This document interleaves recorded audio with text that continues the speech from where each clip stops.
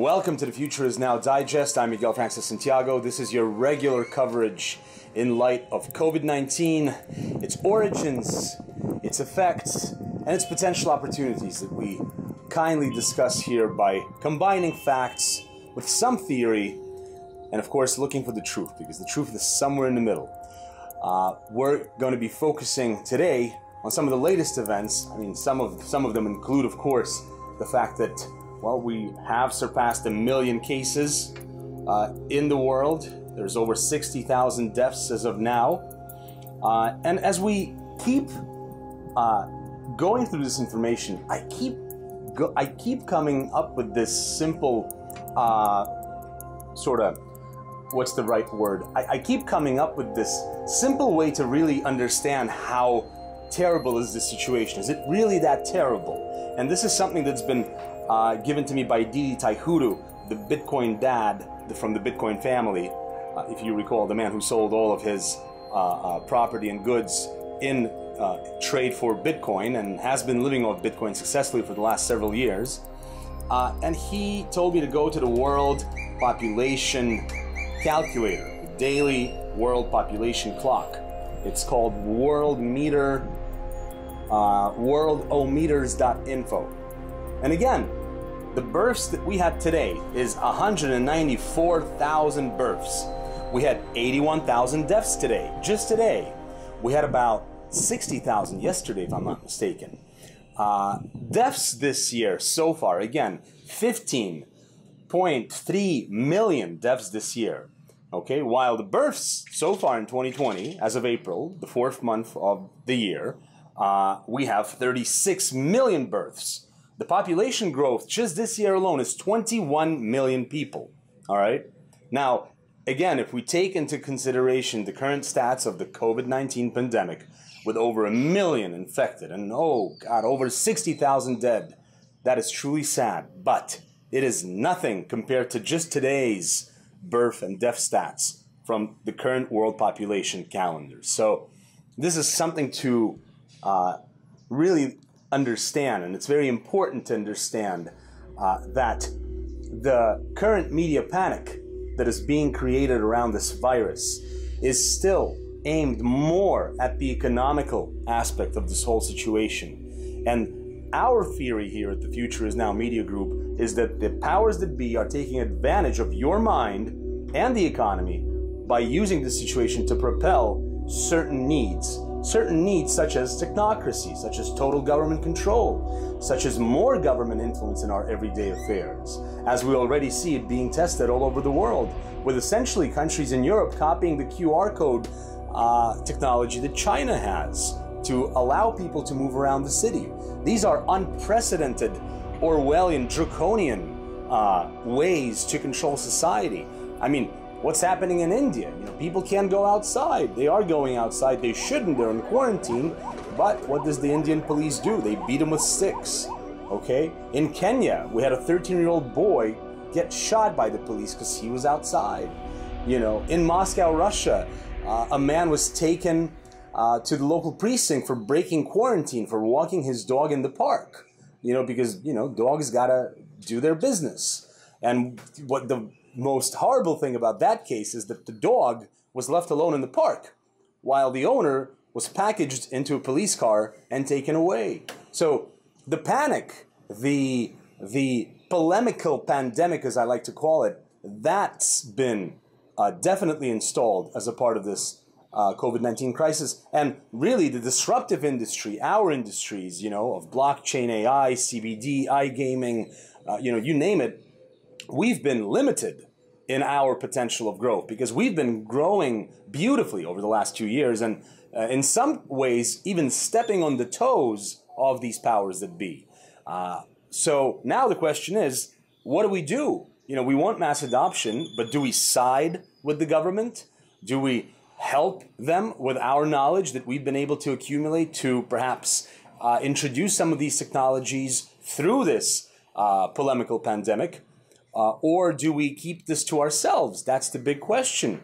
I mean, honestly, if and obviously, if we want to grow and create capital, the smartest thing to do would be to work with the governments right now uh, in times of this looming pandemic. Mm, if we, uh, a lot of crypto anarchists out there, you know, like Pavel Durov of Telegram, for example, still does not give in to any of the SEC uh, uh, petitions and uh, questions that the SEC has for the TON network and the Gram token. So this is just some of the polemics that are brewing in the space, and we're going to discuss it all today with our good friend, special guest of ours, uh, joining us live from Pakistan, Muhammad Salman Anjum, the managing director of Avantas Tech. Muhammad, welcome to the show. How are you? I'm good. Thanks for having me, Miguel. It's been lovely again to see you and uh, discuss with you things with uh, new trends and what's happening around. And uh, my salam and uh, a lot of like regards to everyone everywhere in the world. That's great. Now I know you're joining us live from Pakistan. You have a residence there, even though you are Dubai born and you lived your whole life between the two places. Uh, how is it right now in Pakistan? What's the situation uh, there? Uh, and have you witnessed anything personally as far as, you know, people feeling ill or maybe you know of someone who actually passed, unfortunately, from this virus? Yeah, first of all, the situation is, of course, uh, like other countries, it's not very good, and uh, it's been prevailing uh, in last uh, growing in the last few days. Uh, today, now the count is somewhere between three and a half thousand, I guess, uh, for the impacted cases. The casualties are still 45, which, if you compare with uh, the oversize, over, like all size of the population, which is 220 million, is not that big. But the potential for this to grow quickly is there.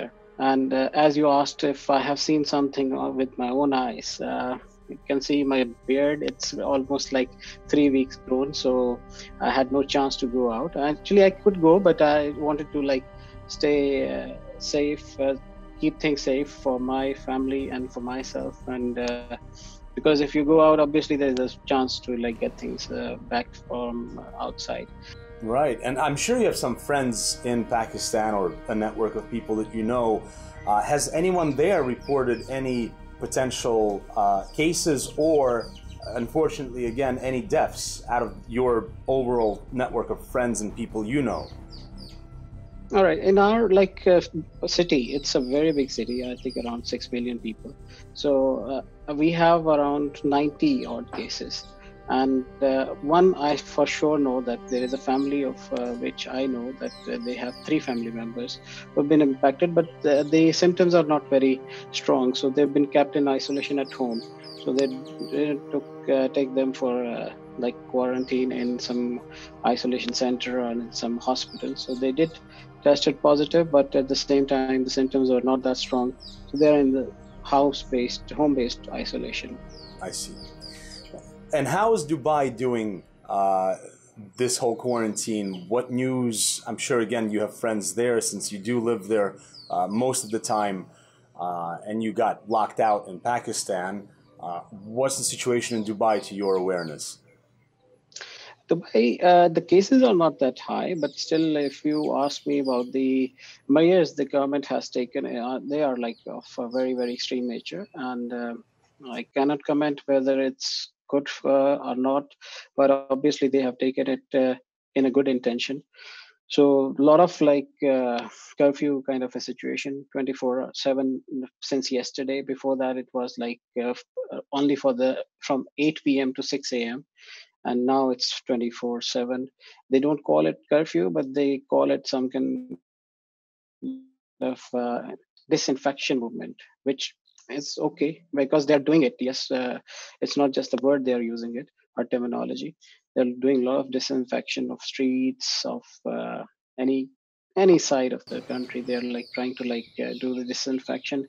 Well and again these are some to some extent draconian measures but uh, again because of this of this pandemic or at least what it is made to be uh, we are finding an excuse to, to, to test these draconian measures. And that's one of the things that we have sort of uh, been catching on here as, as, a, as a trend of sorts for uh, um, this whole event. Uh, and what I mentioned earlier about the stats of the deaths that we even had today in the world, uh, which is already at, you know, uh, 60,000 just today. Just overall deaths, you know. Uh, yesterday it was like 120 or 80,000, I can't remember. So, you know, uh, if you take into account the uh, actual life versus death ratio that's happening daily on the planet, this whole COVID 19 doesn't seem to be that big of a deal. Uh, some scientists even say that it doesn't fit the parameters of a pandemic because apparently a pandemic is only instilled when an actual 5% of the total world population becomes sick with the virus. And, uh, you know, then it becomes a pandemic. So that would be what, at least 500 million people? so there is a lot of, again, polemical views on this subject. What do you think about these uh, uh, daily birth to, to, death stats that I mentioned? Uh, do they really uh, show us that perhaps this whole COVID 19 and, you know, 1 million infected, 60,000 dead is a little overblown? All right. So I have a view. Uh, actually, it's I have traveled like around 15 countries since the outbreak of uh, COVID, and it's been uh, known to the world since early January. So been to like all the continents literally. The it, the world has never seen this kind of a phenomenon before. Uh, let me give them a margin. The governments, uh, I want to give them a margin for uh, not being tested for this kind of potential pandemic. Okay, I agree with you that it is not classifying as a pandemic, but it has a potential. We have to agree on this point that it has a potential. The country's uh, been torn off uh, with very badly by this, and where it is becoming a pandemic, like Italy, Spain, some part of the other parts of uh, Europe, and now you can see America as well. So it is potentially a pandemic, if not a pandemic now. So I think they overreacted in some regards.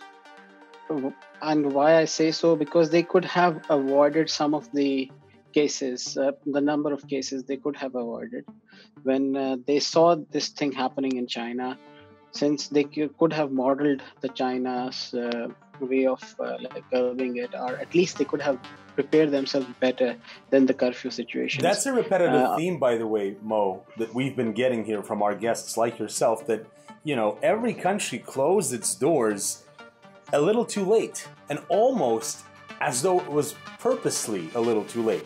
At least that's what it seemed like, because every country had all the warnings to close, you know, yesterday, but they did it two days later for some reason, and nobody understands I, really why.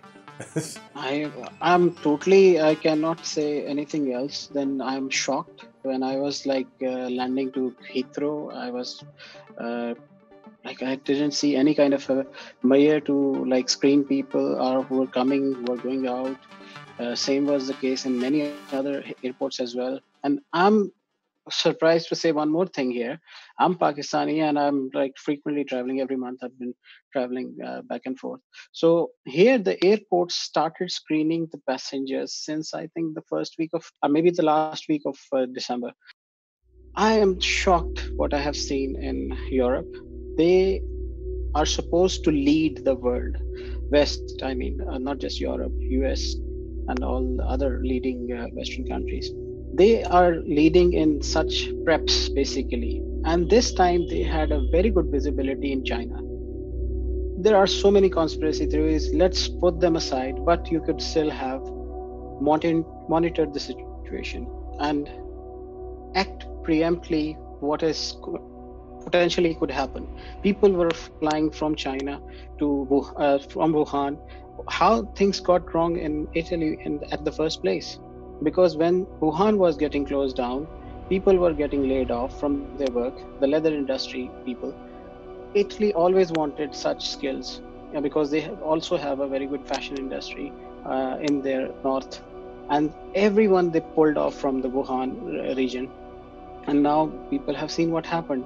And then they hold, held some conferences, events without any precautionary measure. And what happened? It spread out into the neighboring countries. Now the whole western part of the Europe is now in trouble.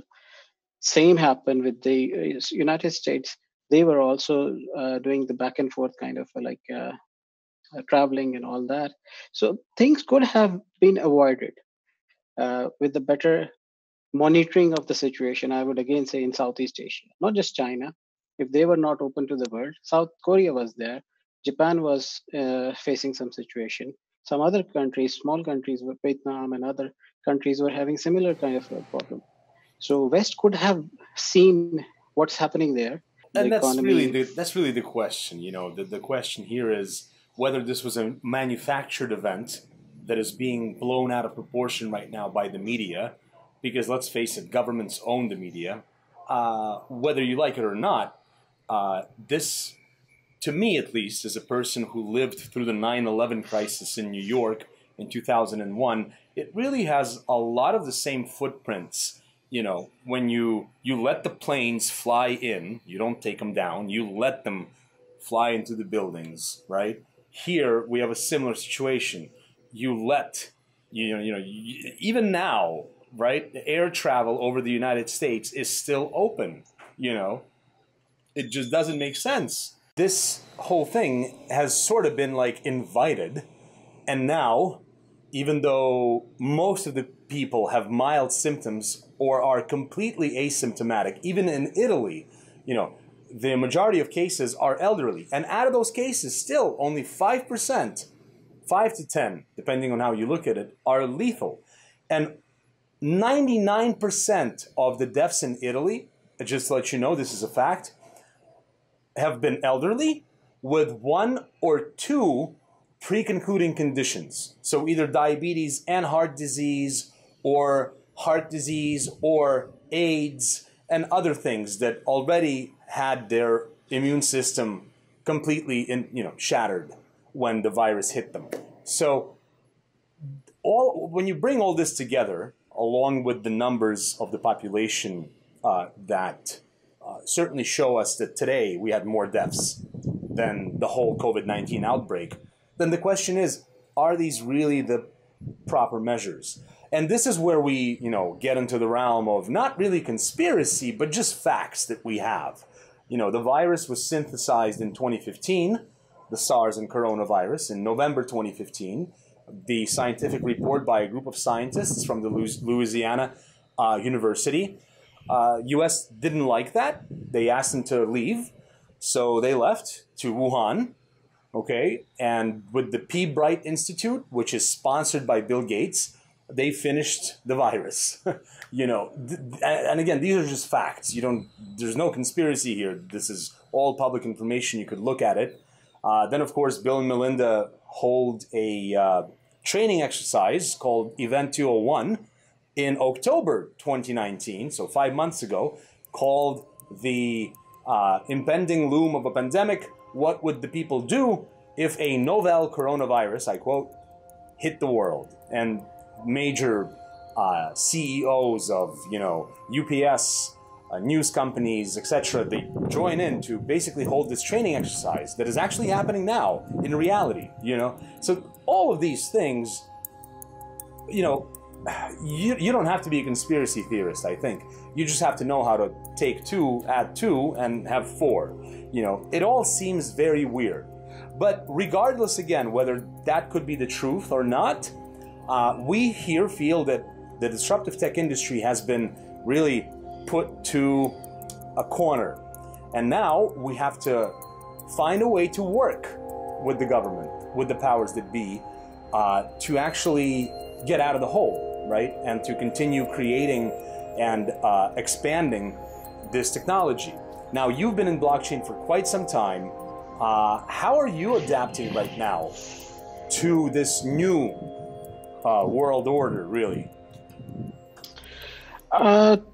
Whatever you have shared, I partially agree, and obviously there are some things which I think so I'll still give doubts to the world leaders about that, but we cannot wait for two, three more years to bring privacy, uh, like protecting our privacy through blockchain. Now is the time, and that's what I'm like been uh, very extensively doing with my team. There is always, I believe, there is an opportunity in the crisis, and that's what I had a vision that in uh, two weeks back I felt that uh, we could do. You've been mentioning about the privacy invasion by the government. It is happening. It will happen more now. The privacy of everyone now been there are surveillance apps been uh, used in several countries. We all know that, and uh, there will be more in coming days and weeks. If there is a layer of blockchain that can help the surveillance bodies as well, and at the same time that can help keep the security of the privacy of uh, there is a there has to be a balance now between uh, the surveillance through security through surveillance and security through privacy as well. Because if you will keep on invading the privacy of the citizens eventually it can go in the wrong hands and like you will face a next pandemic based on that data gone in rogue, rogue hands. That's very true. Mo, is, is, is this something specifically that you're doing with, with Avantas Tech, or there's more to it? Yes, uh, there are like again uh, multiple features but uh, software solution we are doing, and that is uh, to counter the COVID situation. And there are three layers of crisis management. Uh, this MedsLock, which we have, uh, which is under development with us at the moment, addresses all three stages. The first stage is the response stage to the pandemic or crisis. So we are uh, bringing in the information highway, a secured and authentic information highway for different ecosystem players to bring data together.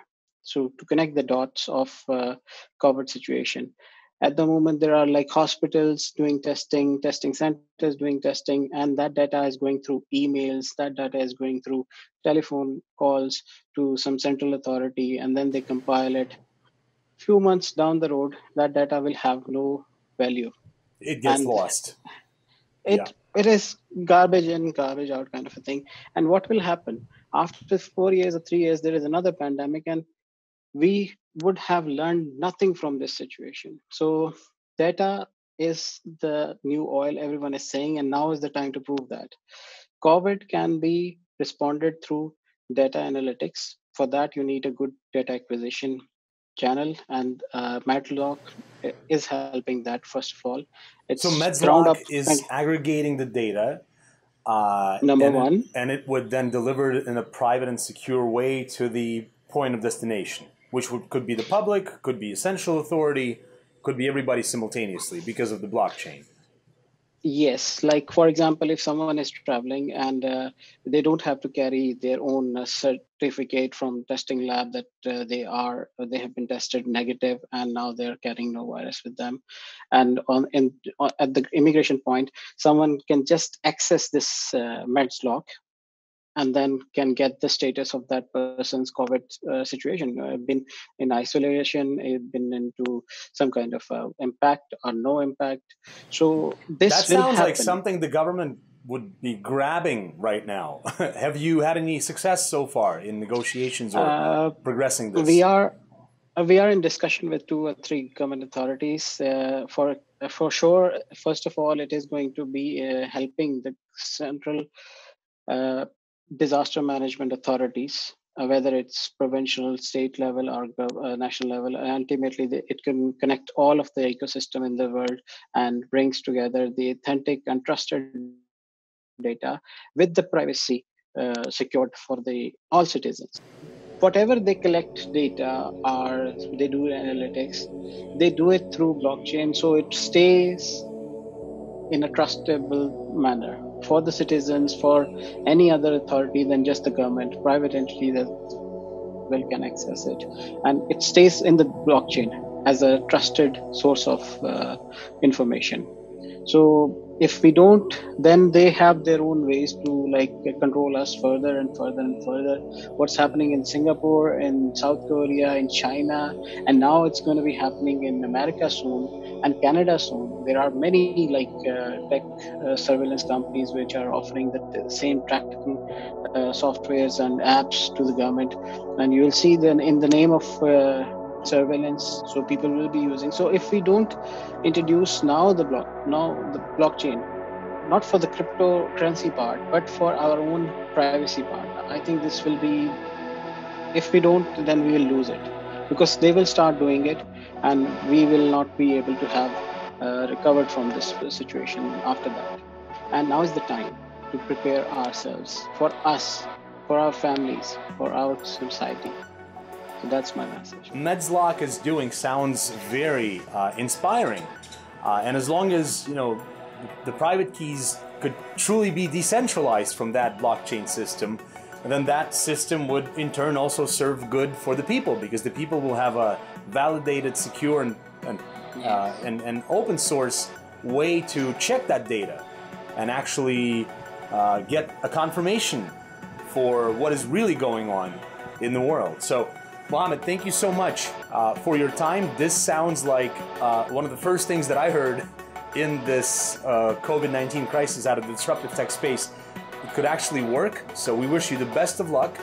Uh, and uh, let's hope to see each other again on The Future is Now Digest, where we bring you the latest from the development of this polemical pandemic and beyond. The future is what you make of it. The future is now. Muhammad Salman Anjum, thank you. And I'm Miguel Francis Santiago. Stay tuned to the future.